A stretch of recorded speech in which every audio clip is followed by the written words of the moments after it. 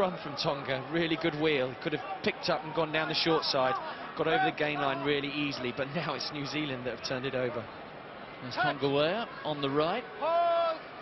Played all Tonga's games at the last World Cup, but didn't make another international appearance until three weeks ago in the win against Fiji. There's Nonu, another of those big contacts, but that was into uh, Kurt Morath, the fly half, who's done well to pick himself up.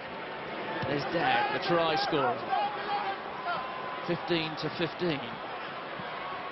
Vunga Lilo, chance perhaps to counter here. Look at the bodies there, Toeava wearing 11.